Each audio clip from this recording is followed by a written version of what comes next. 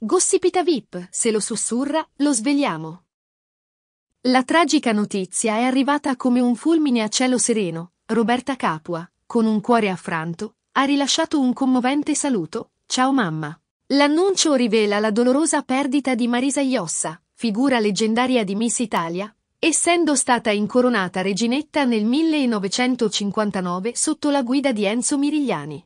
Questo titolo avrebbe un seguito straordinario, poiché la figlia, Roberta Capua, vinse lo stesso concorso nel 1986. La finale del 59, a Ischia con 34 partecipanti, Fu un evento epocale giudicato da personalità come Eleonora Ruffo e Link Shaw. Marisa, alta 1,74 m, si distinse nelle selezioni di Selva di Val Gardena. Accompagnata dalla madre greca Anna Vasdeki, la sua bellezza naturale, senza trucchi e finte, catturò l'attenzione. Vinse un milione di lire e una Vespa offerta dalla Piaggio.